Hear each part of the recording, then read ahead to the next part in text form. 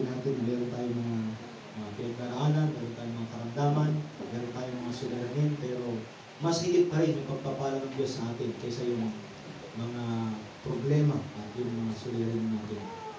Dahil ah, yung biyaya ng Diyos ay sapat para sa atin. Amen? Kaya tayo mga Krisyano ay wala dapat uh, maging dahilan para tayo ay mag-worry, tayo ay mag-alala, at dapat maging dahilan para tayo ay manlupay-pay sapagkat ang Diyos ay hindi nagkukulang sa atin at hindi na tayo pinapabayaan. Ngayong umaga po ay uh, muli tayong uh, lumako sa ating pag-aaral at uh, kagaya ng ating uh, nagawa ay tayo pa rin ay nasa uh, series of First Corinthians. At uh, last week at sa mga nakalipas na weeks, Sundays ay naging topic po natin yung patungkol sa marriage. Yan po ay sa chapter 7, no? At uh, apat na Sundays po na yan ang ating topic. I hope na naging blessing sa inyo. Ikaw man ay mapa single, ikaw man ay mapa may asawa, ikaw man ay uh, separated, or ikaw man ay uh, uh, widow or widower, balo, uh, naniniwala ako na ang salita ng Diyos ay may advice para sa ating lahat. Amen? Especially sa mga senior, sa mga mga kabataan. I hope na naging blessing sa inyo yung ating pag-aaral. Mahalaga ito para, kumbaga, maihanda kayo. Kung kalooban man ng Diyos na kayo ay mag-aasawa balang araw, na kayo ay maihanda. Na alam niyo kung ano yung turo ng Biblia patungkol sa pag-aasawa. Hindi lang tayo magbase sa kung ano yung nakikita natin sa mundo. Tandaan nyo, yung mga napapanood natin at nakikita natin sa ating paligid sa, sa mundo, hindi po yun ang pattern ng Diyos ng marriage. Okay, merong, merong, merong pattern ng Diyos sa Bible at kayo na mga wala pang asawa, uh, na gusto nyo maging maayos, uh, someday yung, yung pag-aasawa ay maganda pong sundin natin yung pattern ng Diyos. Amen? Okay, so, ngayong umaga naman ay malilipat na tayo dun sa chapter 8 at panibagong uh, uh, topic na naman ang uh, eh, kumbaga, i-deal ni Apostle Paul dito sa chapter 8. So, kagaya ng ating nabanggit noon, na ang book of 1 Corinthians, from chapter 1 to chapter 6, ito ay uh, dealing ni Apostle Paul sa mga specific problems sa church.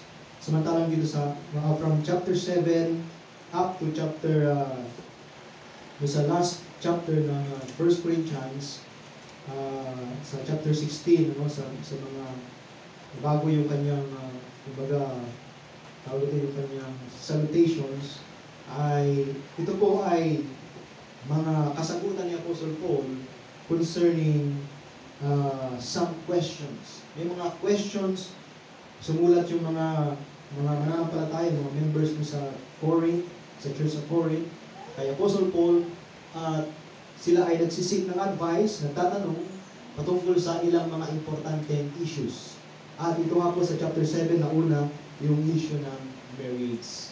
Ngayon naman, sa ating uh, pag-aaral ngayon, at uh, ang chapter 8 po ay maiksi lamang, so gagawin na lang po natin itong isang bagsakan. Ano?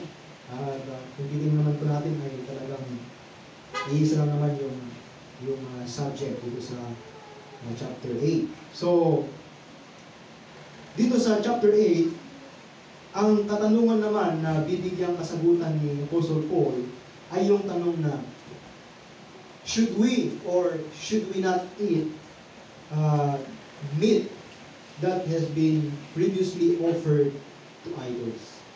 Kumbaga, ang tanong ay, tayo ba ay dapat o hindi dapat kakain ng mga pagkain na inialay sa mga Diyos-Diyosan?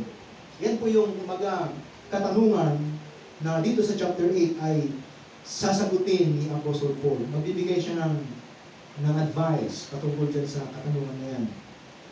Uh, maaaring sa panahon natin ngayon ay pwede natin uh, sabihin yung uh, sa, sa panahon natin ngayon, tayo bang mga Kristiyano ay dapat kakain ng mga pagkain na inialay sa mga Diyos-Diyosan, kaya ng, ng atang. Sino siya dito nakakain na ng atang? Ha? So, tayo bang mga Kristiyano ay pwedeng kumain ng, ng atang o kaya naman yung handa sa pista ng sa, sa ano sa yung tawag dito, yung mga patronal uh, fiesta. Tayo ba ay dapat kakain ng mga pagkain ganun? So yun yung bibigyan kasagutan ngayon.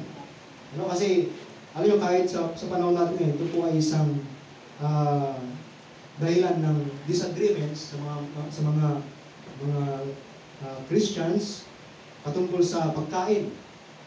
Sabi ng iba, hindi dapat kakain ng pagkain na inatang, hindi dapat kakain ng pagkain na galing sa pista. At sabi naman iba, pwede. Kasi hindi naman yung totoong Diyos at uh, wala namang mangyayari sa atin kahit kakain tayo. Okay, so yan ang bibigyan kasagutan ngayon. Ngayon, gusto ko pong maintindihan natin mga kapatid na doon sa church sa Corinth, okay, bago tayo lalako doon sa ating uh, text, doon sa church sa Corinth ay isa po itong kumbaga uh, malaking issue. Kasi alam natin na ang, ang Corinth, ang city of Corinth, hindi lang sa ito ay punong-puno ng immorality, ito rin ay punong-puno ng idolatry. So ito ang itong itong city of Corinth po ay isa sa mga uh, cities na sakop ng Roman Empire. Therefore, ito po ay kumbaga uh, sila rin ay sumasamba sa mga Diyos-Diyosan na sinasamba ng mga Romano. So, andyan yung mga Roman gods nila. Ngayon, uh, maraming mga mga members sa church sa Corinth ay nasave mula sa ganitong kumbaga kasalanan. Dati sila, nung hindi sila saved, sila ay mga idolaters, sumasamba sila ng mga Diyos-Diyosan. At nung sila ay naligtas na, ay Kumbaga, tinalikuran nila yung mga ganong gawain at yun po ang biblical mga kapatid na kung ikaw ay tunay na mananampalataya, uh, isa po sa mga uh, dapat nating talikuran ay yung pagsamba ng Diyos-Diyosan ng bulto. Amen? So ngayon, uh, naligtas na sila, pero sa paligid nila, kumbaga, sa kanilang, maaari sa kanilang pamilya, kung yung mga family nila hindi pa sila saved, at hindi pa yung mga yung sa trabaho, no, sa, sa lipunan, madalas nilang makita pa rin yung mga ganitong gawain. And then, uh, hindi lang po yan, kundi, alam nyo ba na doon sa pinakapalengke, no, ay madalas ang ibentang karne doon ay yung mga karne na galing doon sa mga pagan temples. Kasi alam niyo po, uh, nung time na ito ay ang ino-offer doon sa mga temples ay mga mga mga hayop. Mga hayop na nakakain kagaya ng baka, ng tupa, ng uh, kambing, at ng iba pang mga uh, karne. So, dahil doon, siyempre, pagka maraming nag-o-offer, maraming karne. Ang ginagawa ngayon, yung mga karne na yon, yung mga hayop na yon na inoffer dun sa kanilang mga Diyos-Diyosan ay dadalhin ngayon doon sa tawag ito sa kanilang marketplace, sa kanilang palengke kumbaga, at ibebenta yon ng mas murang halaga. So mas mura yung halaga kaysa yung talagang original na kumbaga, ibig yung yung hindi inoffer sa idols. O para mas kumita yung mga ano, mga yung mga nandun sa temple, ibebenta nila yon at mas mura. Ngayon, ang, ang ano, ang issue dito ay ito ay syempre dahil mas mura, mas afford ng mga tao. Ang tanong ngayon, yung mga mananampalataya doon sa Corinth, pwede ba nilang kainin yun? Dahil may mga nagsasabi na pwedeng kainin, Meron din nagsasabi na hindi pwedeng kainin. So yung mga mga yung ibang mga mananampalataya, especially yung mga dating idolaters, yun ay offensive sa kanila. Kumbaga, na-open sila or yung bang na na na defile yung kanilang conscience na ang mga Kristiyano kakain ng ganun. Dahil kumbaga nare-remind sila doon sa dati nilang gawain. So marahil ah, sila ay hindi comfortable at nababagabag sila kapag sila ay kakain o meron silang mga kapatid sa pananampalataya na nakikita nilang kumakain ng ganitong klase ng pagkain. So sabi ko nga, merong dalawang, kumbaga, magkaibang approach pagdating sa issue nito. Yung iba, sabi nila, okay lang.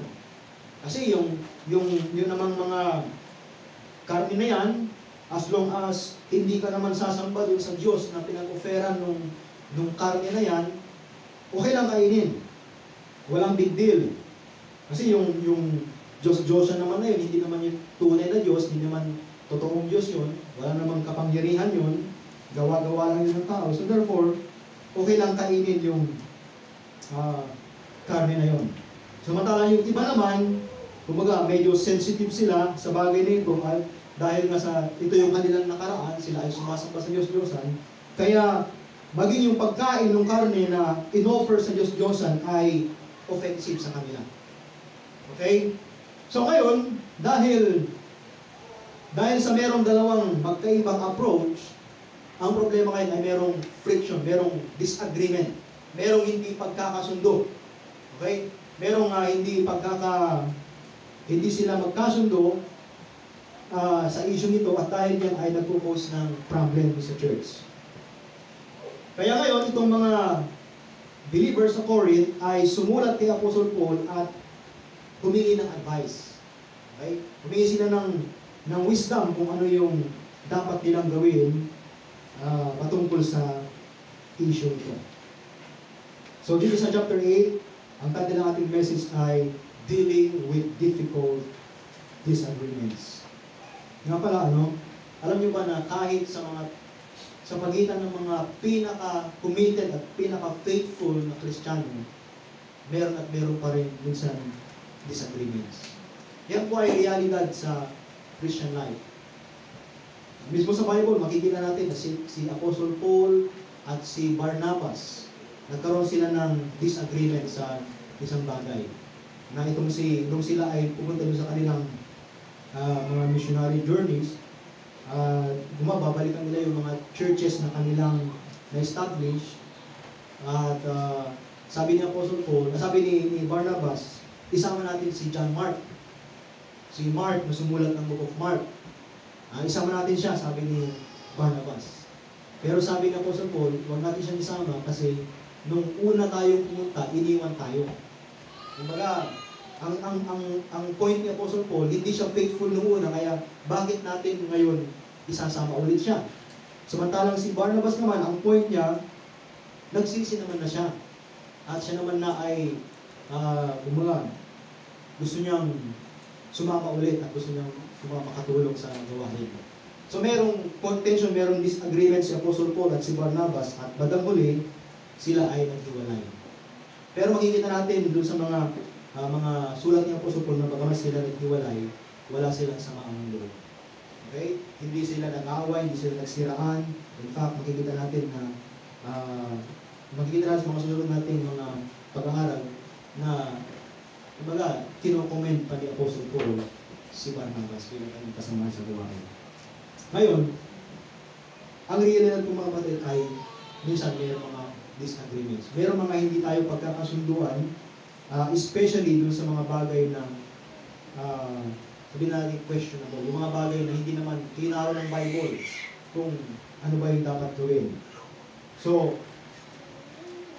yun yung ating uh, bibigyan pansin ngayon. At uh, kung nandiyan na kayo sa 1 Corinthians chapter 8, nais ko kung uh, tumayo tayo kung kaya nyo, ano? Yung mga may may kalong po na bata, okay lang, kahit hindi na po kayo tatayo. Uh, 1 Corinthians chapter 8.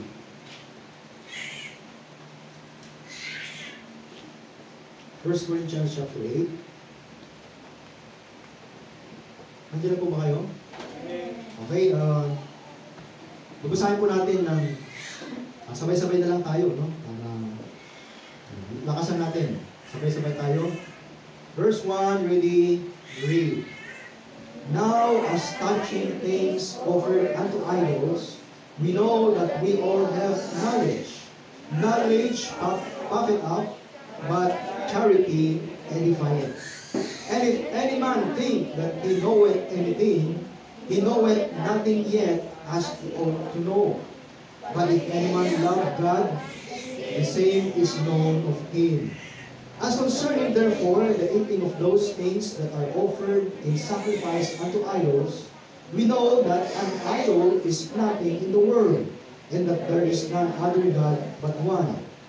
For though there be that are called gods, whether in heaven or in earth, as there be gods many and lords many, but to us there is but one God, the Father of whom are all things, and we in him, and one Lord Jesus Christ, by whom are all things, and we by him.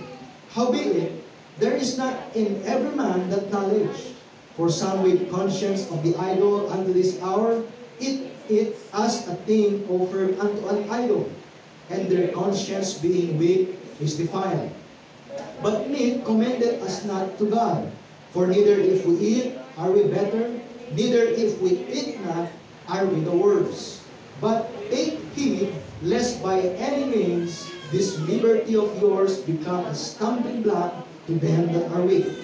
For if any man see thee with uh, which has knowledge sit at meat in the idol's temple, shall not the conscience of him which is weak be emboldened to eat those things which are offered to idols?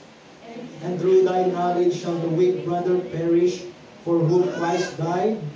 But when ye sin so against the brethren, and wound their weak conscience, ye sin against Christ. Verse 13, sabay-sabay po tayo. Wherefore, if meat make my brother to offend, I will eat no flesh while the world standeth, lest I make my brother to offend. Tayo po'y manalangin. Dakilang Diyos, salamat muli sa uh, aming kalayaan pag-aralan ng salita at sa opportunity muli po na mahayag ng salita sa umaga ito. Dalahan po namin na uh, i- ipagkaloob po Panginoon aming mga spiritual needs at uh, i-meet niyo po Panginoon pagkakataon ito. Gamitin niyo po ang mensahe upang uh, upang ipagkaloob sa aming Panginoon mga spiritual na aming pangailangan. At dalangin po namin na ang Banal Espiritu ay malayang kikilos sa aming kalikunan. Ako, Panginoon, ang mensahe ito ay gumawa ang kinalaw sa aming buhay at hindi po ito mawala ng kabuluhan. Sa pangalan ni Jesus, ang aming dalangin. Amen. Okay, so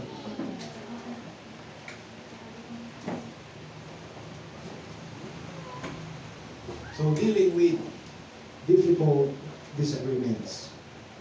Alam nyo, dito sa ating binasa, mapapansin nyo na hindi talaga actually sinagot ni Apostle Paul ah, directly yung tanong na tayo ba ay kakain o hindi dapat kakain ng pagkain na nag-offer sa idol. Hindi yun yung, kumbaga, focus ni Apostle Paul. Bagkus, ay ang kanyang tinumbok, kumbaga, ay yung talagang heart of the issue kung tawagin. Yung talagang, ah, yung talagang pulot dulo. O ano ba yung talagang dapat na, dapat na focus natin bilang mananampalataya. At yan po yung ating makikita ngayon. So, si Apostle Paul po ay nagbigay ng mga warnings at advice kung paano natin i-deal yung ganitong klase ng disagreements. Especially, ano, tandaan natin, yung mga disagreements patungkol sa mga mga bagay na hindi hindi naman directly pinagbawal o pinahintulot ng, ng Bible. Yung mga, mga sabi natin, silent ang Bible. O kaya yung mga bagay na ah, ah, hindi directly na uh, kinondem o kinondone ng, ng Bible.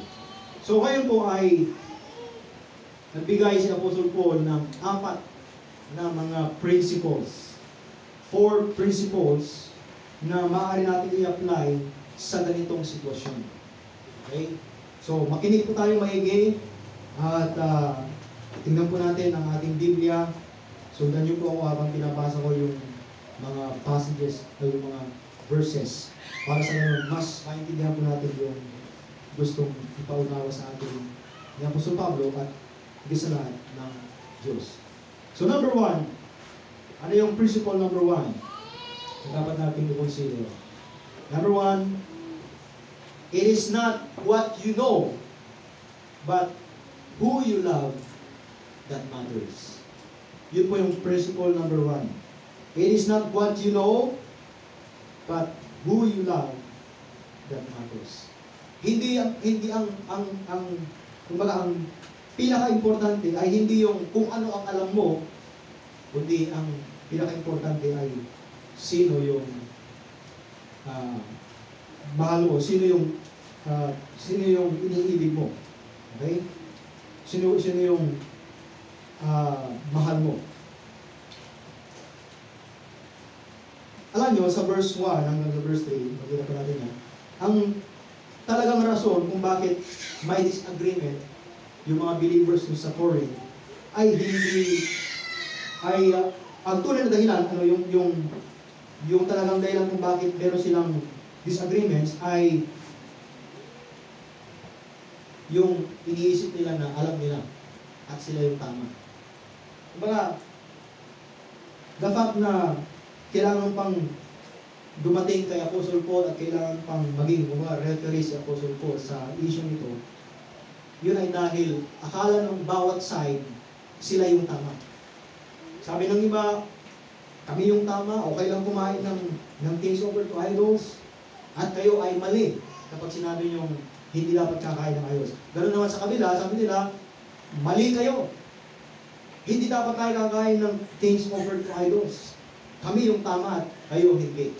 So makita natin dito mga kapatid sa verse 1 hanggang verse 3 yan. Unahin natin sa verse 1. Sabi niya, Now as touching things offered unto idols, we know that we all have knowledge.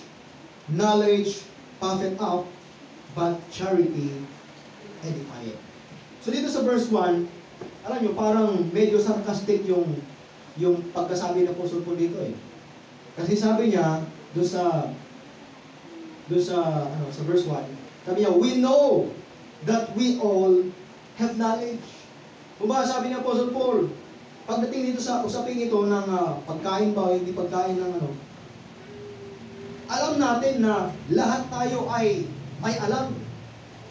Lahat tayo ay, ay kumbaga, magaling. Ang ibig sabihin parang, ang pinapakita ni Apostle Paul ito, alam ko na lahat kayo sinasabi niyo kayo yung tama at, at kayo ay magaling pagdating sa issue nito. Yun po yung ah, point ni Apostle Paul. Alam niyo mga kapatid, kadalasan yung mga involved sa disagreements, especially yung disagreement patungkol sa mga ah, questionable issues ay akala nila, alam nila lahat. Akala nila sila lang yung tama at hindi na nakikita yung kumbaga viewpoint ng ng kabilang side. Mga kapatid, sabi dito ng ni Apostle Paul sa verse 1, knowledge puffeth up, but charity edifieth. Alam niyo, ang tendency kapag ka marami tayong alam, o tingin natin sa ating sarili, marami tayong alam, tayo po ay nagiging puffed up. Sabi ng puffed up, yung nagiging mayabang tayo, nagiging mapagmalaki tayo. Ang tendency ay maging proud tayo sa ating alam. Kaya nga po, hindi natin, hindi natin, kumbaga, inaalis yung dapat tayo mag-aral at dapat tayo matuto.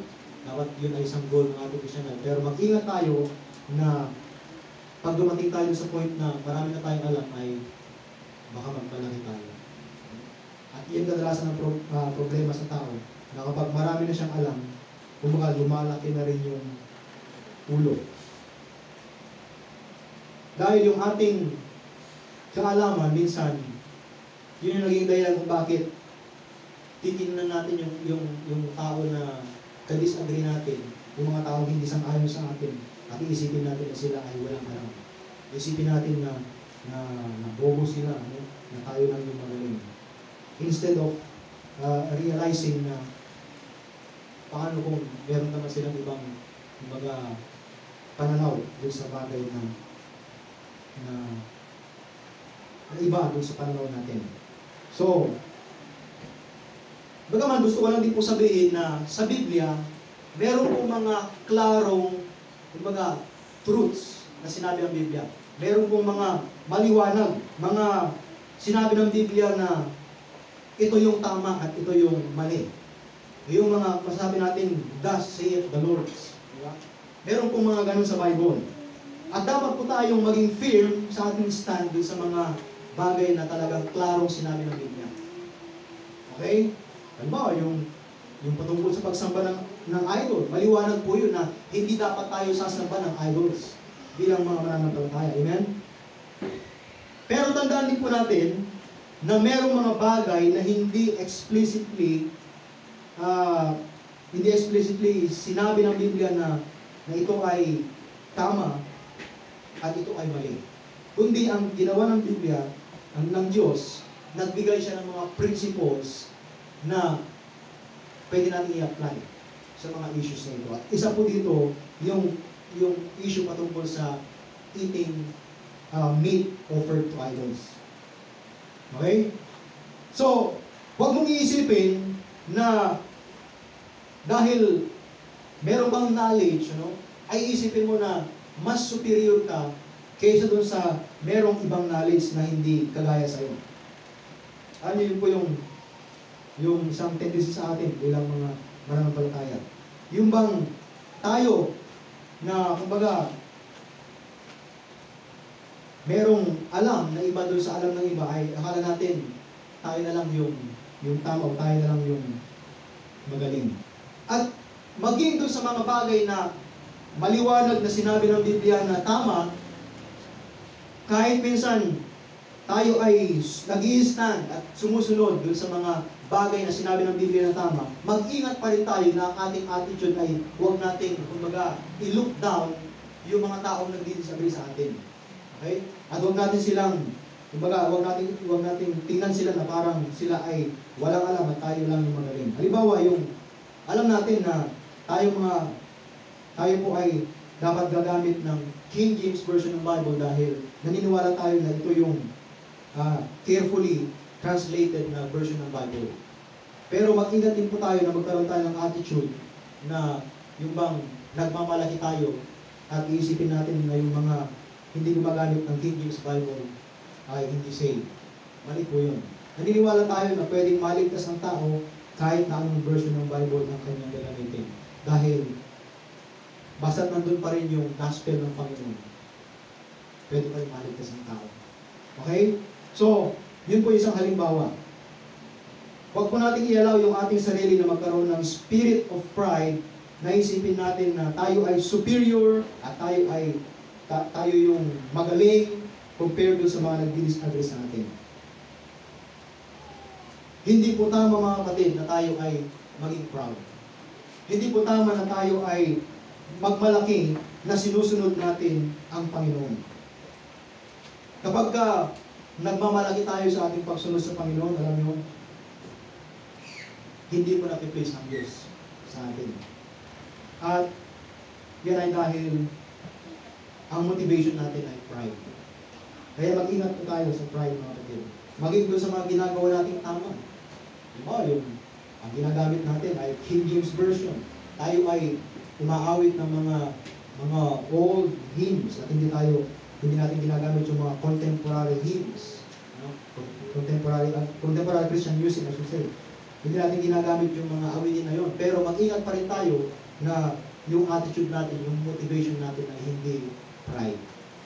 Okay? Sabi ng Apostle Paul, be careful of being proud. Mag-ingat tayo na huwag tayo maging proud sa kung ano yung alam natin. Especially, kung yung mga, yung issue naman na yun ay hindi klinaro ng Biblia, kung yun ba ay right or wrong. Okay, so, sabi ng Apostle Paul, knowledge puffeth up. Then meron karugtong yun. Sabi niya, but charity edifieth. So meron pong meron pong contrast dito mga kapatid between knowledge and charity. Sabi niya, charity edifieth. Yung pong charity, yung word na charity means self-sacrificing love. Minsan, yung ibang yung ibang version ng Bible ay pinapalitan nila yung word na charity ng word na love. Pero alam nyo, niniwala tayo na yung word na charity ay meron pa rin ah, kaibahan dun sa word na love. Dahil yung word na charity means self-sacrificing love. Ito yung, kumbaga, it is care and concern for other believers.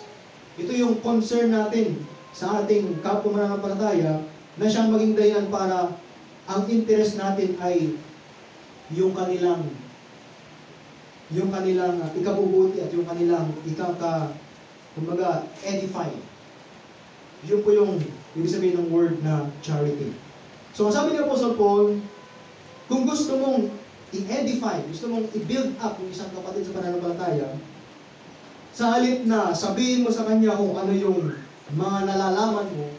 Sa halip na ipagmalaki mo sa kanya kung gaano kadami ang alam mo, ipakita mo sa kanya yung ah, pag-ibig na dapat mong ipakita sa kanya bilang kapatid sa pananampalataya. Yun ang sabi ng Apostol Paul. Ano yung kapatid? Ang charity ay, ang tinitingnan ko ng charity ay yung good of others. Yung kabutihan para sa sa iba. At hindi yung pangsariling kabutihan. Bagaman, gusto ko ulit ano, i-counter yun, ano? Na hindi naman ibig sabihin na dahil mahal mo ang isang tao, mahal mo ang kapatid sa pananampalataya, hindi mo na hindi mo na siya i-rebuke sa kanyang maling ginagawa. Ah, in fact, kabaligtaran po, no? Ang turo ng Biblia, ang pag-ibig ay kumbaga nire-review kung ano yung mali. Yun po yung tunay na pag-ibig. Hindi mo pag-ibig yung pababayaan mo yung kapatid mo sa pananampalataya, nakikita mong mali yung kanyang ginagawa at wala kang ginagawang aksyon. Hindi mo siya sinasabihan, hindi mo siya nire-review at ah, para bang ini-encourage mo pa siya, parang hinahayaan mo lang siya na gawin yung mali. Hindi po yung pag-ibig mga kapatid. Pero tandaan natin, sabi ng Biblia, ang ang ang pag-ibig, okay? Ah, it speaks the truth, but it speaks the truth in love. May kasamang pag-ibig. Kapag ikaw, sinabi mo yung totoo, at nirebuke mo yung kapatid sa pananampalataya, hindi mo yung gagawin dahil galit ka sa kanya. Hindi mo yung gagawin dahil gusto mong ah, ipakita na ikaw yung tama. Gagawin mo yung bilang pagmamahal sa kanya. Amen? Mahalaga po yun. So sabi na po sa Paul, charity edifieth. Then sa verse 2. Okay, di pa na tayo sa verse 2. And if any man think that he knoweth anything, he knoweth nothing yet as he ought to know. Sabi ni Apostol Pablo, kung iniisip mo na alam mo na lahat, iniisip mo na marami kang alam at ah, kumbaga, na-figure out na lahat, lahat ng issue sa buhay ay alam mo na. Ang isasagot mo, alam mo na kung ano yung gagawin, alam mo na kung ano sasabihin mo. Sabi ni Apostol Pablo, He knoweth nothing yet as to know. Tandaan mo, marami ka pang hindi alam. Tandaan mo na maraming mga bagay na hindi pa pinaalam ng Diyos sa'yo. Huwag nating isipin na porque nabasa na natin ah, isang beses, dalawang beses, tatlong beses ang Bible, eh, akala natin, alam na natin lahat. Mga kapatid, alam niyo man, ang Biblia ay napakalalim na hanggat nabubuhay tayo, hindi tayo mauubusan ng panibagong malalaman. Hindi tayo ma- mauubusan ng wisdom mula sa Biblia. No, parang para itong balon na the more na kumukuha ka ng tubig, hindi hindi na uubusan. Merong ulit panibagong ng tubig. Ganun po ang salita ng Diyos. Kaya wag nating isipin na meron lang tayong kunting alam, eh, alam na natin lahat. Yun po ay pride. Hindi, hindi po yung tamang attitude ng isang mananampalataya. Okay, sa verse 3. Okay, sa verse 3, But if any man love God, the same is known of Him. Ano sa inyo sa verse 3 mga kapatid? Ang focus ni Apostle Paul ay mahal mo ba ang Diyos? At kung mahal mo ang Diyos, nga pala, no? Ibig sabihin, mahal mo rin ang kapatid. Hindi mo pwede sabihin na mahal mo ang Diyos, pero hindi mo mahal ang iyong kapatid sa pananampalataya. Yun po ay kasinungalingan. Sabi ng Biblia, pag mahal mo ang, iyong, ang, ang Diyos, uh, iba't po nun, kasama po nun ay mahal mo rin ang iyong kapwa. So, sabi ng Apostle Paul, ah, kung mahal mo ang Diyos at mahal mo ang iyong kapatid sa pananampalataya, ang Diyos ang siyang magga-guide sa iyo sa katotohanan. Kumbaga siya yung magbibigay ng wisdom sa iyo at siya yung magbibigay ng knowledge sa iyo para malaman mo kung ano yung, yung tama sa bawat circumstances ng iyong buhay. Pero ang focus hindi yung hindi yung knowledge, hindi yung love. Kaya ang sabi natin, point number one, it is not what you know, but who you love that matters. Okay? Pag mahal mo ang Diyos, pag ikaw ay nasa kalooban ng Diyos at lumalakad ka ng may pag-ibig at uh, lumalakad ka sa kalooban ng Diyos, makakatiyak ka na ibibigay din sa iyo ng Diyos yung sapat na wisdom para malaman kung ano yung tama sa bawat sitwasyon na meron ka. Yung, yung tamang desisyon sa bawat sitwasyon na meron ka. Okay? So yun po yung ating principle number one. It's not what you know, but who you love that matters. Number two. Point number two. Or principle number two. Idols are not real, but God is. Amen? Idols are not real, but God is. Sa verse number 4, makikita pa natin yan. Dito sa verse number 4 and verse number 6, uh, kumbaga, si, si Apostle Paul po ay nagsabi kung ano yung kanyang nalalaman at kung ano yung alam natin bilang mga nampalataya patungkol sa mga idols. Sabi sa verse 4, As concerning therefore the eating of those things that are offered in sacrifice unto idols, we know that an idol is nothing in the world. So, ito yung knowledge. Ang sabi po sa Paul, ang idol, an idol is nothing in the world. Ang isang ang isang Diyos-Diyosan, katotohanan, yan ay idol lang. Yan ay bagay lang. Wala yung kapangyarihan. Hindi yan tunay na Diyos. Tandaan natin mga kapatid, yung mga Diyos-Diyosan na sinasamba ng tao, yung mga ribolto na sinasamba ng tao, yun po ay gawa lang ng tao. Wala po yung totoong kapangyarihan. Sabi nga po ng Biblia, hindi sila ni nakakakita, ni hindi ni nakakarinig, hindi sila makapagsalita sa kanilang bibig, ni hindi sila makagalaw sa kanilang paa. Kaya yung mga Diyos-Diyosan mga kapatid, yan po ay nothing. Ibig sabihin ng word na nothing ay walang silbi. Wala. Walang kapangyarihan, walang magagawa. Kaya nakakatawa minsan na baliktad po ang nangyayari, imbes na yung Diyos ang nagliligtas sa tao, ang tao ang nagliligtas sa kanyang Diyos. Di ba? Pag may sunog, pag may baha, anong nililigtas nila? Yung kanilang ribulto. Dala-dala nila yung kanilang ribulto nung nakaraang baha, di ba? Sa, sa Marikina. Ay, uh, imbes na yung tao ang, ah, yung, yung Diyos ang nagliligtas sa tao, yung tao ang nagliligtas sa kanyang Diyos-Diyosan. Makita yung mga Kaya, yung mga Diyos-Diyosan, yan po ay nothing, sabi ng Bible. Wala silang kapangyarihan. Ngayon, tanong mo, eh bakit may mga nagmimilagro? May mga lumuluha, may mga mga miracles daw, nagpapagaling. Eh di, ibig sabihin, may, may nagagawa yung mga rebulto. Hindi po yung rebulto ang may kapangyarihan. Yung Diablo, yung mga demons na nasa likod ng mga rebulto. Tandaan natin, ang Diablo at ang kanyang mga demonyo ay may kapangyarihan. Kaya nilang gumawa ng mga milagro para sa ganun, linlangin ang tao na maniwala at magtiwala sa mga Diyos-Diyosan. Pero yung Diyos-Diyosan mismo, wala yung kapangyarihan. Wala yung magagawa. Kaya huwag tayo dapat matakot. No? Minsan, natatakot tayo na magsalita ng, ng, uh, ng against sa kanila o natatakot tayo na i-disrespect yung mga mga Diyos-Diyosan yung mga kahit anong mga ano, mga mga bagay na, na kumula ginagamit para sa idolatry. Mga kapatid, walang magagawa yon.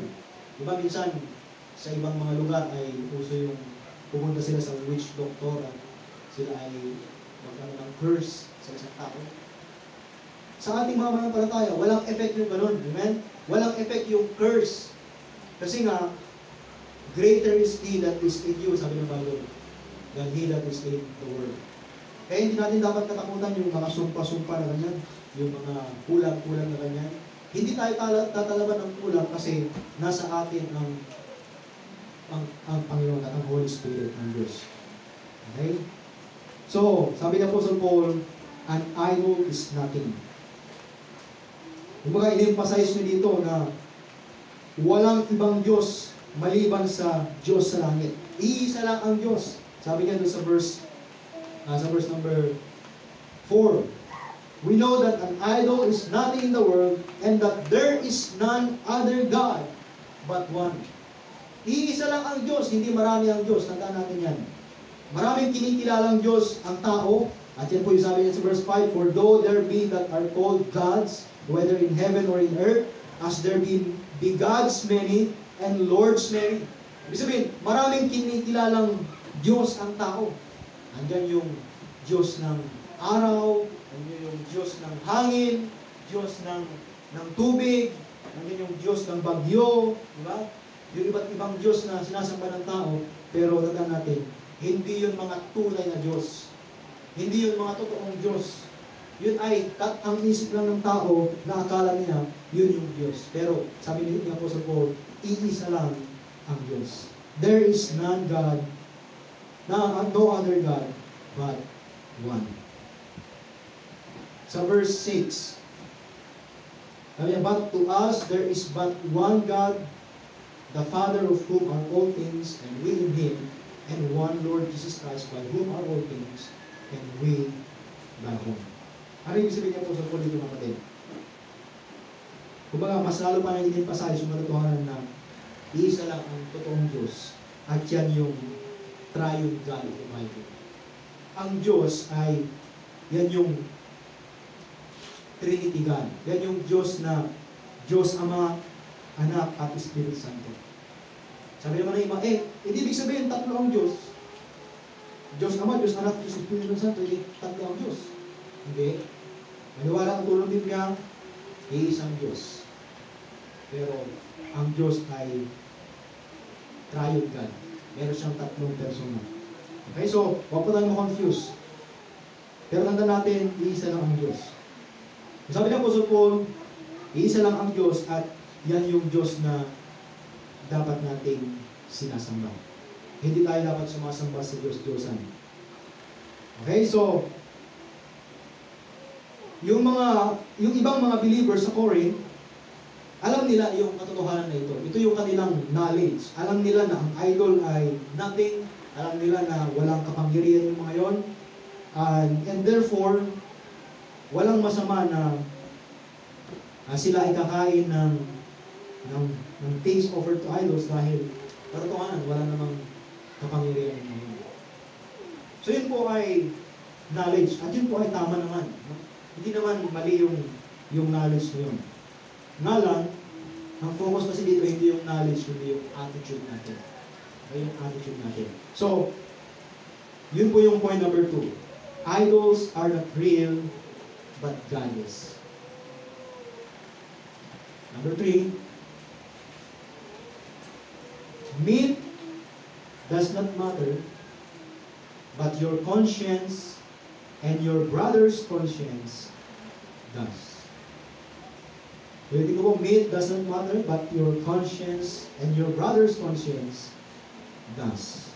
Ibig sabihin mga kapatid, yung word na meat, tanda natin sa Bible, ah, minsan yung word na meat, ang ang paggagamit nito ay yung general uh, term tumutukoy sa ah, pagkain as ah, pagkain in general. No? Minsan naman, ah, yung, yung laman, yung karne. So, ang, ang, ang principle number 3 mga kapatid, ang pagkain ay hindi yan yung mahalaga. Kundi, ang mahalaga, yung conscience mo, yung konsensya mo, at yung konsensya ng iyong kapatid sa pananampalataya. Okay? So, tinan sa verse 7 at sa verse 8 para ma- maintindihan nyo kung ano yung ibig kong sabihin. Sa verse 7, sabi ni Apostle Paul, Howbeit, there is not in every man that knowledge. At tinutukoy ni Apostle Paul yung naunang sinabi niya sa verse verse 4 hanggang verse 6. Yung knowledge patungkol sa ang idol ay wala naman talaga, walang kapangyarihan, yan ay mga bagay lang na gawa ng tao. Pero sabi niya sa verse 7, ganun pa man, hindi lahat ay merong ganitong kaalaman. Hindi lahat ay merong ganitong, kumbaga, ah, conviction. Okay? So, sabi na po sa Paul, yung mga idols ay nothing, hindi sila tunay na Diyos, at yung ibang mga mananampalataya sa Corinth ay naniniwala na okay lang kumain ng things offered to idols.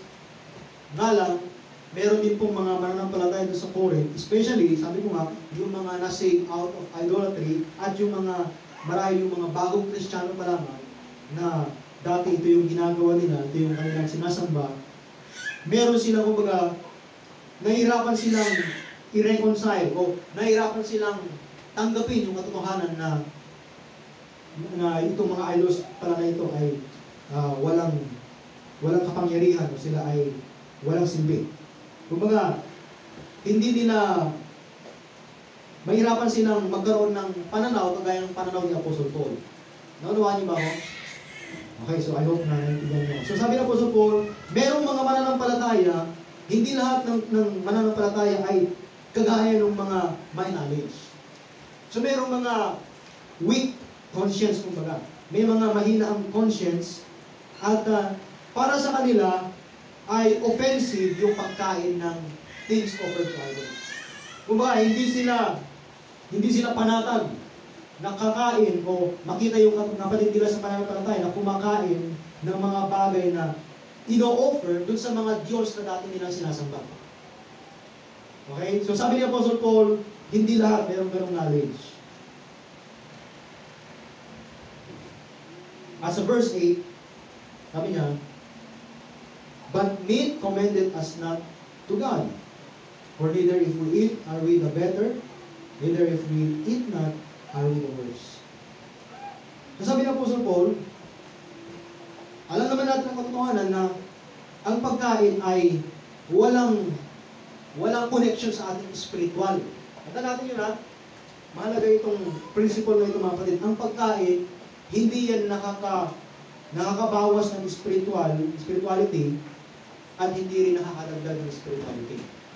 So, hindi yung pagkain ang mahalaga. Ang mahalaga, yung konsensya mo, yung, yung, yung motive mo at yung puso mo nakakain, at kung ikaw ba ay hindi nakaka-offend, hindi ka nakaka-stumble ng mga mananampalataya, especially yung mga merong weak conscience. So yun po yung sabi ni Apostle Paul. Meat does not matter, but your conscience and your brother's conscience does matter.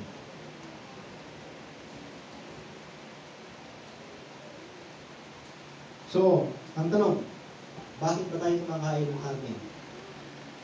Bakit tayo kumakain ng karne ng baboy? Sige na. Sino sa inyo dito kumakain ng karne ng baboy? Bakit tayo kumakain ng karne? Bakit tayo kumakain ng pork chop? Kasi masarap. Sino masarap naman talaga ang pork chop? Eh. Masarap naman ang adobo. Masarap ang igado. Pero tiyakin natin na hindi tayo nakaka-stumble, hindi tayo hanggang hindi tayo nakaka-offend sa kapwa mananampalataya. Dahil pag ginawa natin yon, kumbaga, dahil sa ating pagkain o dahil sa ating ginagawa ay na-offend yung ating kapag-tayo, tayo ay nagkakasala sa Diyos. At dyan papasok yung principle number four. Number four, liberty should never be allowed to become a stumbling block. Amen? Liberty should never be allowed to become a stumbling block. Dapat yung kalayaan natin, huwag natin gamitin para maging katitisuran, yung kakatison ng, ng iba, especially ng ating kapwa ng pangalan. Lahat tayo mayroong kalayaan. At sabi po ng Biblia, tayo ay pinalaya ng Diyos mula sa tawag doon sa Old Testament law.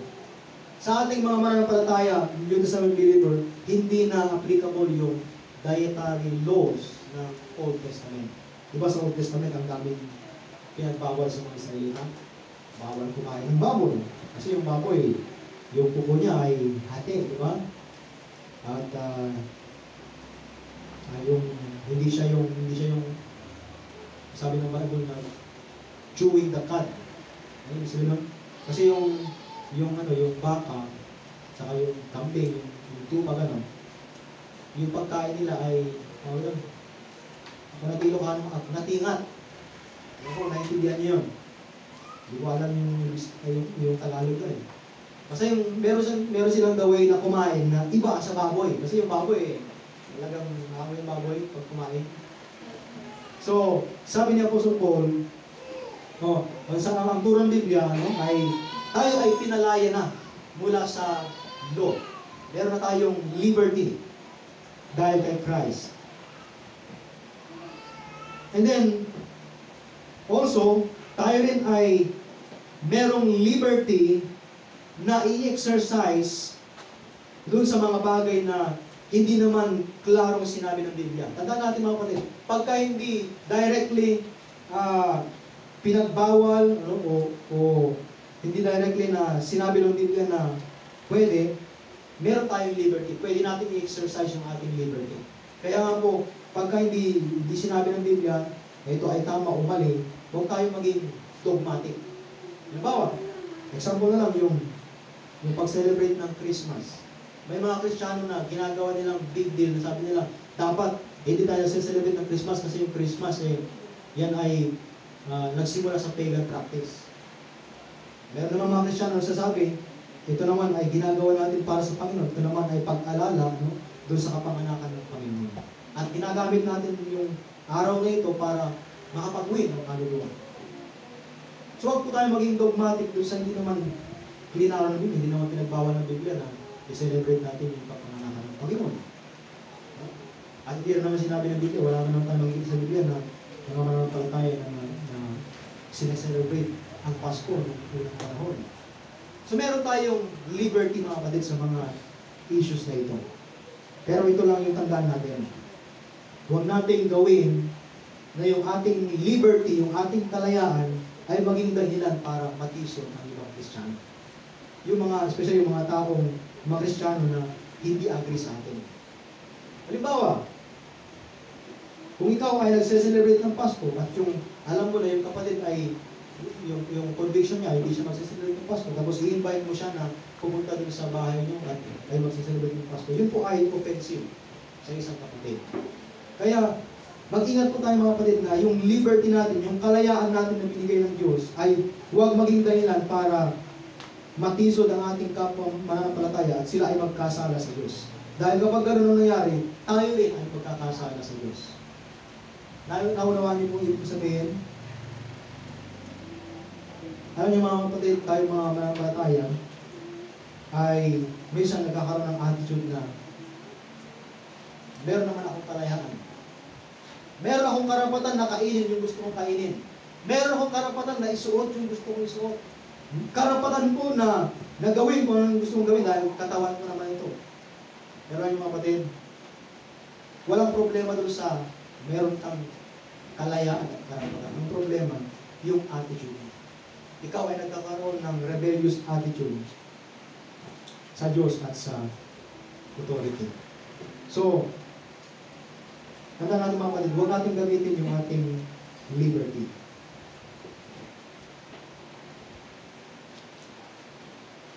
Dito sa Corinth, balikan natin yung, yung mga Corinthians. May mga believers sa Corinth na very offensive sa kanila yung idea na kakain sila ng meat offered to idols. Kasi pagka ginawa nila yun, kumbaga na, naipapaalala sa kanila yung dati nilang ginagawa nung hindi pa sila saved, at maaaring yun yung maging dahilan para sila ay mag-backslide or manumbalik doon sa kanilang dating gawain. Kaya, yun ay, kumbaga, nakakas, nakaka-defile ng kanilang conscience. Kaya tayo mga mga tayo mga kapatid, mag-ingat tayo sa pag-exercise ng ating karapatan. Tayo kasi ay sa modernong panahon, nakasanayan na natin ipaglaban ang karapatan. Pero hindi lahat ng karapatan natin dapat natin ipaglaban dahil minsan yung karapatan natin ay naging dahilan para magkasala yung ibang tao. Karapatan mo kumain, karapatan mong gawin yung, yung gusto mong gawin sa katawan mo. Pero tiyakin mo na yun ay hindi nakaka-offend sa iba at tiyakin mo na yun yung kalooban ng Diyos. So ang, ang, ang tunay po na issue dito mga kapatid, hindi yung karapatan mo. Hindi yung kalayaan na meron ka, kundi yung kung ano yung puso mo. Mahal mo ba ang Diyos at mahal mo ba ang iyong kapwa? Uh, enough para maging willing ka na i-give up yung rights mo. Ano mga kapatid, hindi lahat ng pagkakataon pwede natin i-pilit yung rights natin. Halimbawa, ah, nung, nung hindi pa ako nag-asawa ay siyempre meron akong rights na gawin mo ano yung gusto mong gawin. Kainin yung gusto mong kainin, puntahan yung gusto mong puntahan dahil ah, hindi natin katawan ko naman ito, no? Sarili ko naman ito. Pero ngayong may asawa na ako, hindi ko pwedeng ipilit na karapatan kong kainin gusto kong kainin. Karapatan kong ah, puntahan yung gusto kong puntahan at gawin yung gusto kong gawin. Pwede ba yun? Ano mga nangis misis? Ha?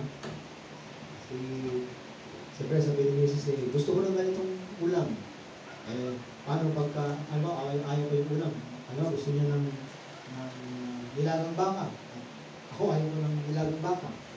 So, pwede ko bang pagpapilitan na, ayaw ko, ayaw ko ng nilagang baka. Dapat ang lutuin mo yung pork chop. Diba? So, ibig kong sabihin mga kapatid, hindi sa lahat ng pagkakataon ay pwede mong ipilit kung ano gusto mo dahil kailangan natin i-consider, kailangan ko i-consider yung, yung opinion ng misis ko. Ganon din mga kapatid, tandaan natin sa, sa, sa church, tayo bilang member ng church, hindi lang puro yung karapatan natin ang iniisip natin. Hindi lang puro yung kung ano yung gusto natin gawin at hindi, hindi naman masama yung gusto natin gawin. Mga kapatid, i-consider din natin yung opinion ng ating kapwa mananampalataya. So, yan po yung nilalaman ng verse 9 and ng verse 12.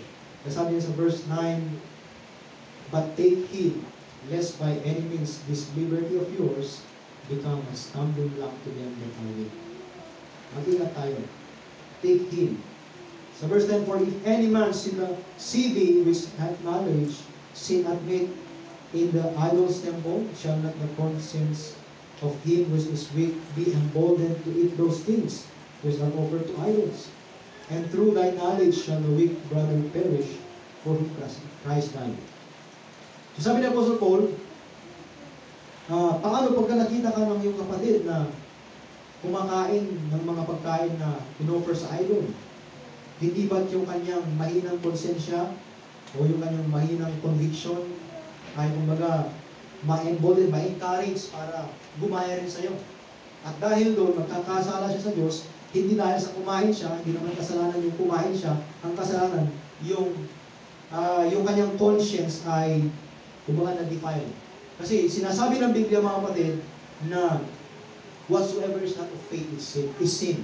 Ibig sabihin, pag kapag ka ikaw ay gumawa ng isang bagay na hindi ka tiyak kung yun ang kalooban ng Diyos, hindi ka, kumbaga, tiyak na na yun yung tamang dapat mong gawin, kung mga nagda-doubt ka sa ginagawa mo, yun ay kasalanan.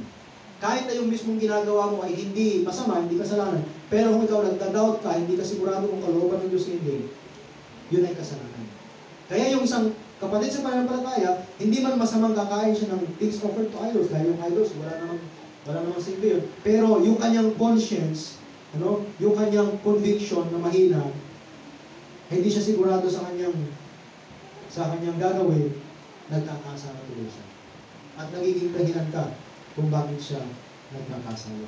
Kaya yung sabi sa verse verse uh, 10 at verse 11. Sa verse 12, But when ye sin so against the brethren, and wound their weak conscience, ye sin against Christ. Kapag uh, ginawa natin yun, nagkakasala tayo sa kanila, sa ating kapatid, at nagkakasala din tayo sa Panginoon Jesus. Kaya sa conclusion mga kapatid, sa verse 13, sabi ng Apostol Paul, Wherefore,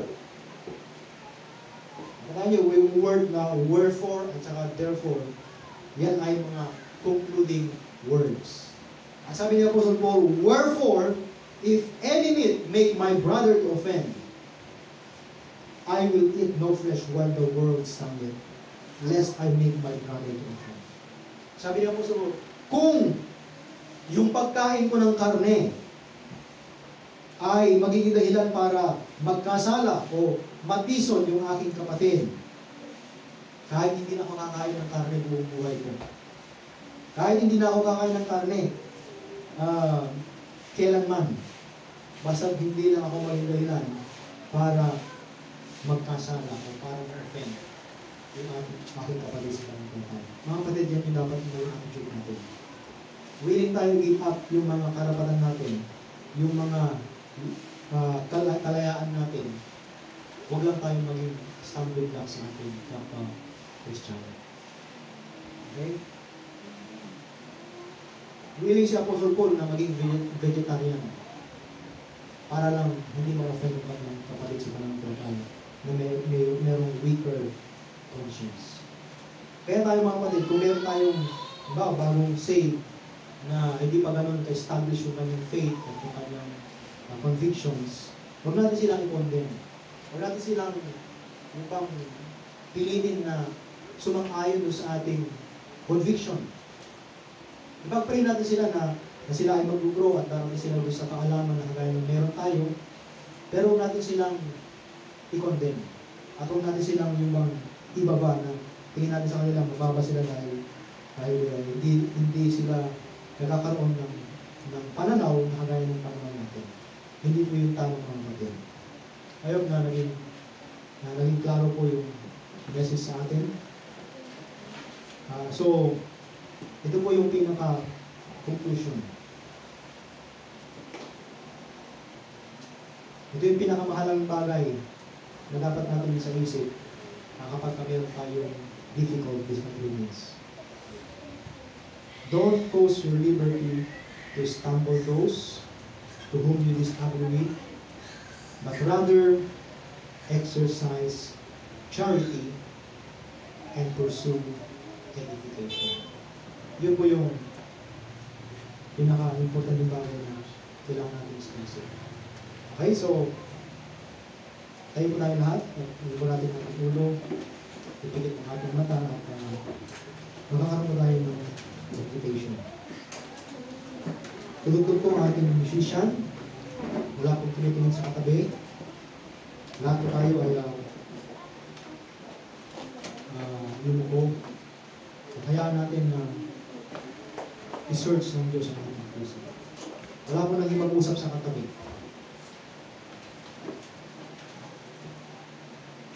Ito ay oras para maging seryoso tayo at uh, oras para kausapin natin ng Diyos. Mag-respond tayo sa message. Narinig natin yung message, ano yung gagawin natin.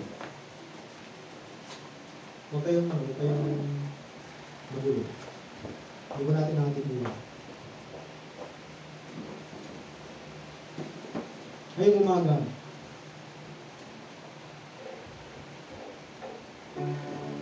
paano mo hinahandle yung kalayaan na meron ka kay Kristo? Ang concern mo ba ay yung ma-please ang iyong sarili o ang ma-please ang Diyos at ang ma-strengthen, ma mapalakas ang pananampalataya ng iyong kapatid.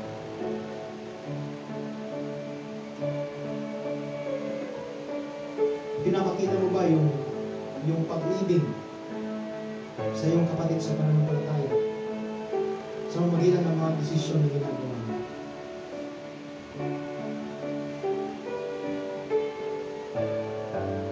Willing ka ba na i-give up yung mga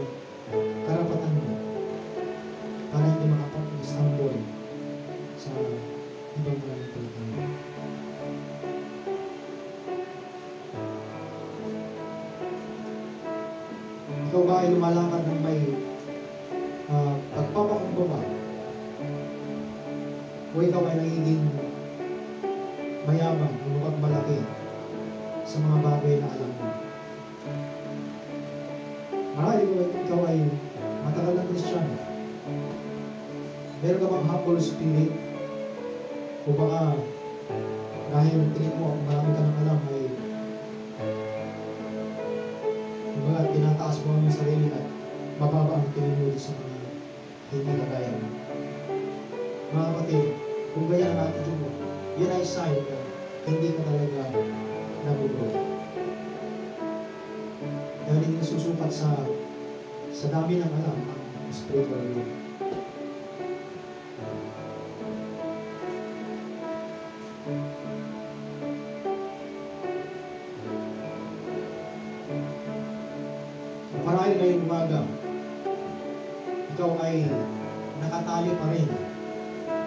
Pagsamba sa mga Diyos-Diyosan. Kaibigan mo, yan ang kalagayan mo ngayon. Gusto kong sabihin sa iyo na tinuturo ng Biblia na ang pagsamba ng Diyos-Diyosan ay may kaparusahan. Doon sa Revelation chapter 21 verse 8, lahat nakalagay doon na But the fearful and unbelieving and the abominable and murderers and whoremongers and idolaters and all liars shall have their part in the lake which uh, burneth with fire and brimstone. This is the second lake. Kaibigan, ang pagsamba ng Diyos-Diyosan ay masuklam-suklam sa Diyos. At ang kaparusahan nito ay impyerno. kailangan mong pagsisihan. Kailangan tumalikod sa gawain na yun. Tandaan mo, iisa lang ang Diyos at dapat mong kilalanin yung tunay na Diyos. At dapat mong kilalanin yung kanyang anak na siya ang takapagligtas.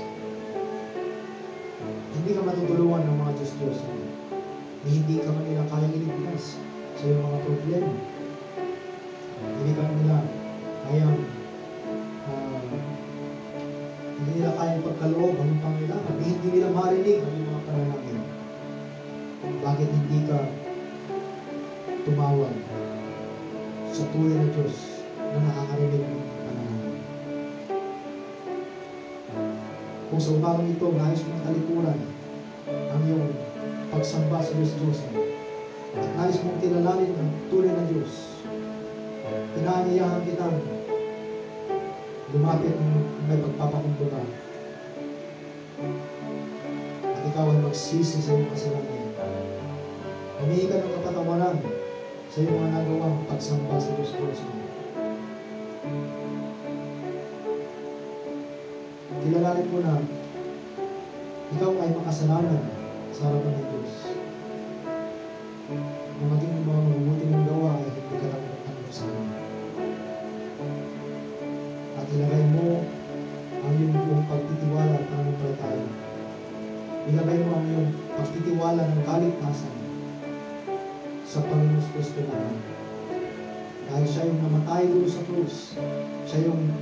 Nagsakripisyo para sa iyo. Siya yung nagbigay ng kanyang buhay sabi doon sa ating text kanina, Christ died. Siya ay namatay para tayo ay lumigtas. Kaya kung ikaw ay magtitiwala ng buong puso sa Kanya at ilalagay ang pananampalataya sa Kanyang ginawa doon sa Diyos, kaibigan, malaligtas ka. Tanda natin, iisa lang ang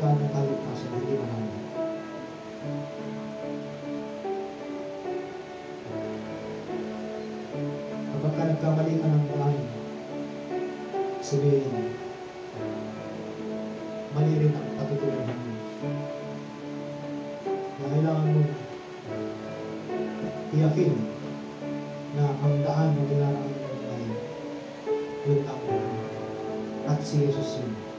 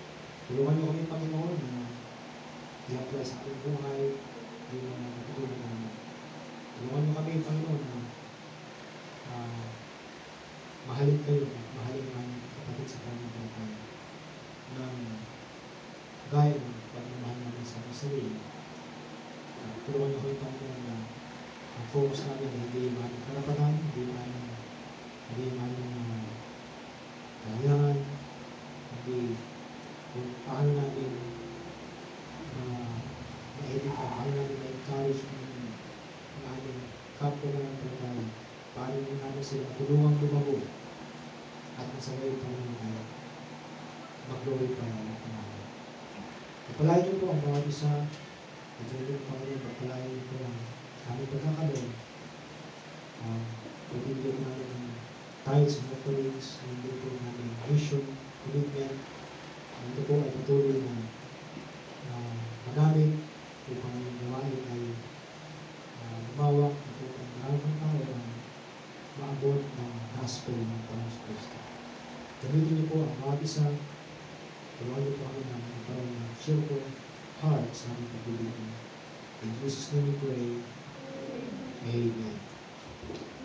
so